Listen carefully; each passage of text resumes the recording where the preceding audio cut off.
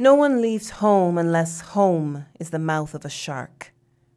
You only run for the border when you see the whole city running as well. Your neighbors running faster than you. The boy you went to school with, who kissed you dizzy behind the old tin factory, is holding a gun bigger than his body. You only leave home when home won't let you stay. No one would leave home unless home chased you, fire under feet, hot blood in your belly. It's not something you ever thought about doing, and so when you did, you carried the anthem under your breath, waiting until the airport toilet to tear up the passport and swallow, each mouthful of paper making it clear that you would not be going back. You have to understand.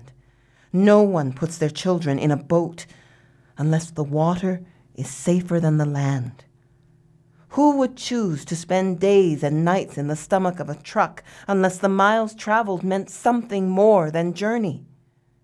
No one would choose to crawl under fences, be beaten until your shadow leaves you, raped, then drowned, forced to the bottom of the boat because you are darker, be sold, starved, shot at the border like a sick animal, be pitied, lose your name, lose your family, make a refugee camp a home for a year or two or ten, stripped and searched, find prison everywhere. And if you survive, and you are greeted on the other side with Go home, blacks, refugees, dirty immigrants, asylum seekers sucking our country dry of milk, dark, with their hands out, smell strange, savage. Look what they've done to their own countries. What will they do to ours?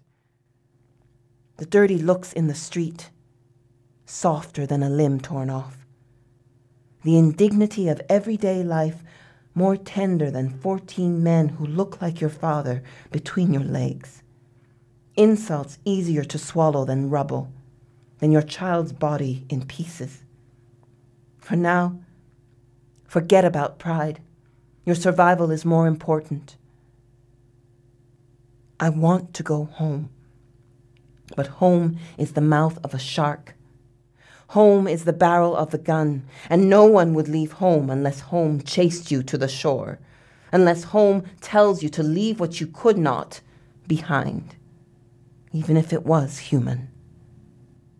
No one leaves home until home is a damp voice in your ear saying, Leave.